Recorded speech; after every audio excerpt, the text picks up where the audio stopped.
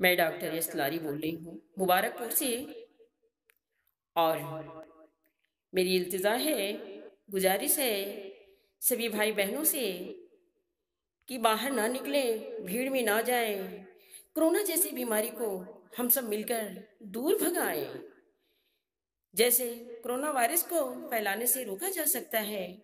खांसते, छींकते, अपने मुँह को रुमाल या टिश्यू पेपर से ढकें।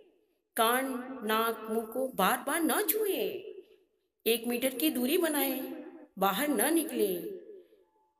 किसी को भी तेज बुखार, सर्दी, खांसी हो, फ़ौरन डॉक्टर को दिखाएँ।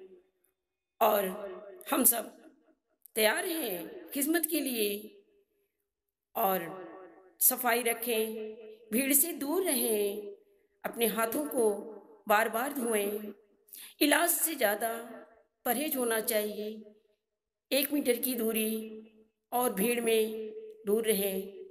और मेरी इल्तज़ा है, गुजारिश है कि इस कोरोना जैसी बीमारी को हम सब मिलकर दूर भगाएँ और हम लोग तैयार हैं सबकी खिदमत के लिए।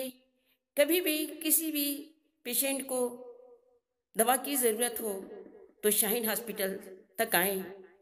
हम सब तैयार हैं हम और मेरा स्टाफ।